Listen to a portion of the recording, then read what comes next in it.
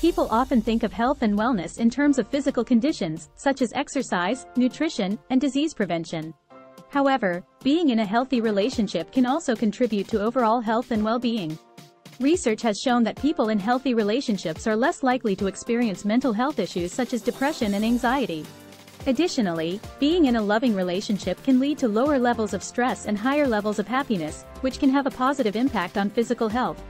When we feel loved and supported, we are more likely to engage in healthy behaviors and take care of ourselves. Therefore, it is important to recognize the role that relationships can play in overall health and wellness. Happiness and love are two concepts that are often intertwined. It is common for people to associate happiness with being in love, and it is easy to see why. Love can bring about a sense of joy, fulfillment, and contentment that is difficult to replicate in other areas of life. In this video, we will explore the relationship between happiness and love, and how they are connected. Love and happiness often go hand in hand. When we are in love, we feel a sense of joy and happiness that is hard to describe.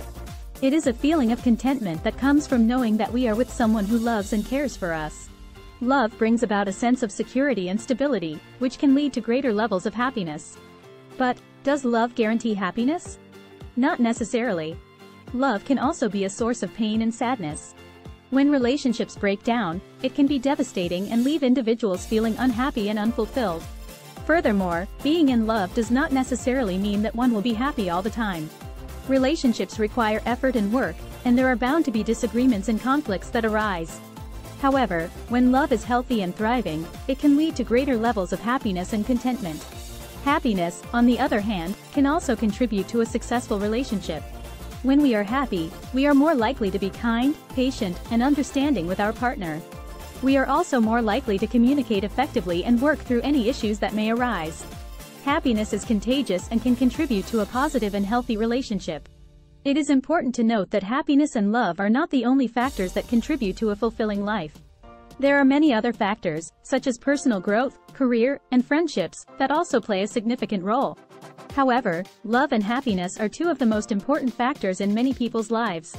In conclusion, love and happiness are intertwined concepts that can contribute to a fulfilling life. While love can bring about a sense of joy and contentment, it does not guarantee happiness. However, when love is healthy and thriving, it can lead to greater levels of happiness. Additionally, happiness can also contribute to a positive and healthy relationship. It is important to remember that love and happiness are not the only factors that contribute to a fulfilling life, but they are certainly important ones.